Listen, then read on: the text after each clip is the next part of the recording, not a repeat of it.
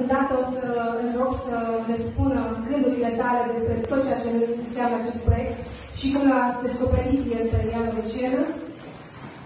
Vă mulțumim încă o dată și, Fabio, nu înainte, vreau doar să mulțumesc partenerilor noștri, fără de care această expoziție nu s-ar fi putut întâmpla, primăria și Consiliul Local Cluj-Napoca și o foarte mare onoare și un foarte mare mulțumesc domnului Adrian Crivi, care este aici alături de noi, prin uh, Darian Gădese. Mulțumim foarte mult! Întâi de toate, bună ziua și bine ați venit! Uh, mă bucur foarte mult pentru că suntem aici împreună. Mă bucur de asemenea foarte mult pentru că tot împreună putem să descoperim sau să redescoperim povestea fascinantă a celui care a fost Ioan Oficien, creatorul Hollywoodului Transilvan. De fapt, a fost omul care, prin pasiunea lui pentru film, a reușit să ofere Clujului și Transilvaniei celebritate mondială în acei ani de neuitat de la începutul veacului al XX-lea.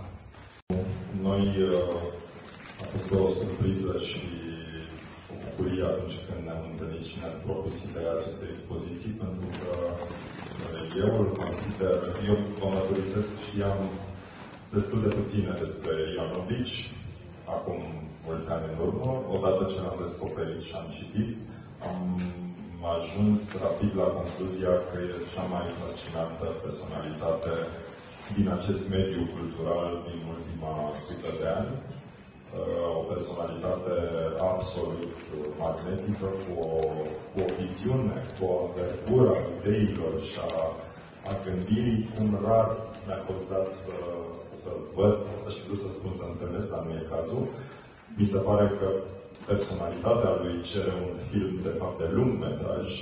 Voi, uh, sau mai scris cărți, voi ați făcut o expoziție, dar cred că și-a lăsat în urmă la nivel de, de proiecte, de idei multe neduse, din păcate, la capăt uh, și o, toată biografia lui străbătând niște ani și niște o epocă foarte turbulentă, așa, în schimbări uh, istorice.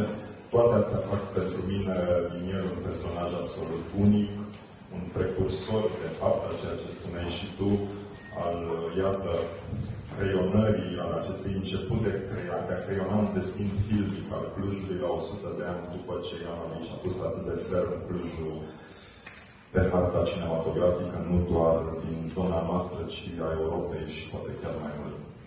În consecință, uh, singura mea dorință este să, să apuc să văd cu adevărat expoziția, pentru că n-am ajuns și vă felicit și mă bucur mult că E un an special în care vom avea la Cluj invitați din toată lumea. Ba mai mult vom organiza pentru prima dată European Film Forum.